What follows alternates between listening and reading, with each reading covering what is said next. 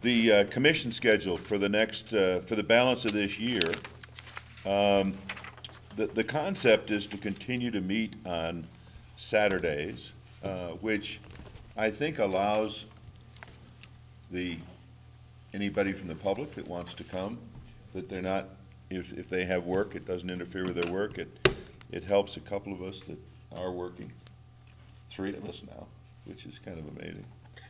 Uh, so it would My be eight. job is the railroad. It I- is, I'm sir. working. You're working all the time. Uh, April thirtieth would be the Chama meeting. Uh, July thirtieth would be the next meeting here in Antonito. And then, uh, October 29th would be the next scheduled, would be the final scheduled meeting for two thousand and sixteen in Chama. So that's April thirtieth, July thirtieth, and October 29th. Um, If there could be a motion to, to formalize those dates, So moved. is there a second? Second. Uh, discussion? I would like to request that if there are any substantial reasons for the members of the commission where they cannot attend, that we could modify this so it's uh, chiseled in granite somewhere. Absolutely, I think that should be really part of the motion, so that Okay. We do understand that, that we should make the maximum effort to ensure that we have full attendance of the commission.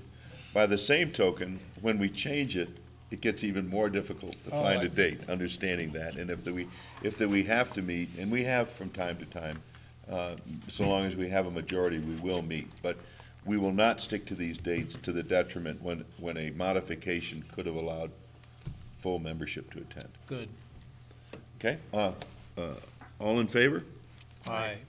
Uh, Opposed? Pass. Uh, We now uh, are going to suggest that we go into executive session to discuss uh, compensation issues.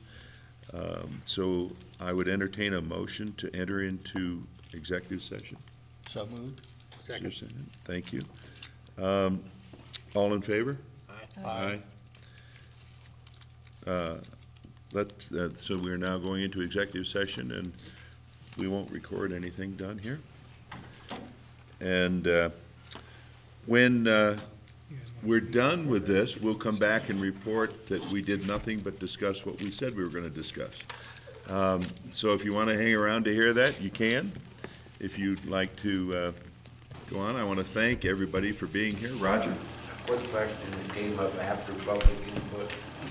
Now that you've added forty-two thousand, uh, to the marketing budget, what is the new total marketing budget?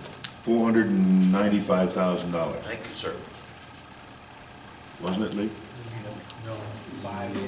Yeah, with the groups included in it, four ninety-five point five. Thank you very much.